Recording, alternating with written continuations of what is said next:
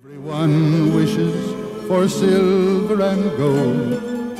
How do you measure? Welcome to Inside Time, Eric. Thanks for stopping by. We're going to talk about the majors and juniors today, the GDX and GDXJ, in an update to the Gold and Silver report. This is a report that's been fairly active since uh, it started in 2023. It's really uh, probably a discussion about frustration, frustration for the Bulls, frustration for the Bears. You can see this is a primary downtrend for both of these, but they're not very profitable, and neither one has been profitable. The Bulls have not done much.